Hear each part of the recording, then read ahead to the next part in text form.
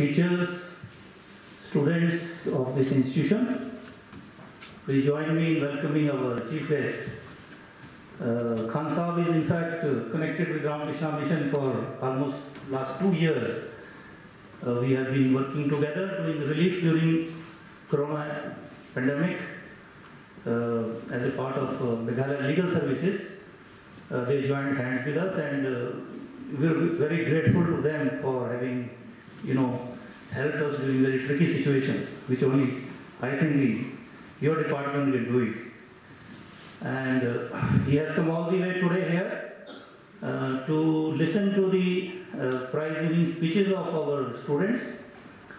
As already all of you are aware that this is this was a historic event 128 years back when Swami Vivekananda appeared on the World Parliament of Religions at Chicago. And that became a landmark for the regeneration of this country, of ours. Not only that, that was the point from where a lot of interfaith conferences started happening all over the world because uh, the seeds of interfaith conferences, seed of acceptance of each other's belief system, each other's practices, started from that day. Swami Vivekananda's speeches, if we go through it, somebody, in fact, from my school asked me, Maharaj, why are you conducting these kind of competitions? Um, Swami Vivekananda's speeches, and also we have another competition on 18th.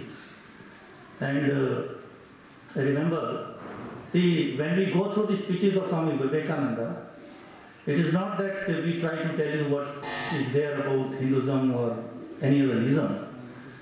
Uh, going through the speeches of Swami Vivekananda or his master Sri Ramakrishna makes a Hindu a better Hindu, makes a Christian a better Christian, makes a Mohammedan a better Mohammedan. If you go through their writings, you understand your own religion much better, in a much scientific uh, manner, in a much universal manner, because Swami Vivekananda only talked about the universal principles, not about the practices which, is, which are different in every religion, but the practices which unite us as human beings, those who are yearning to know something more than the materialistic world has to offer, something more of a spiritual dimension. So today I am very happy that our chief guest is here to listen to our children and also to share his thoughts with us. With these few words, I thank all of you. I thank Mrs. Khan and the children who have come all the way. And I hope you will enjoy this session. Thank you very much.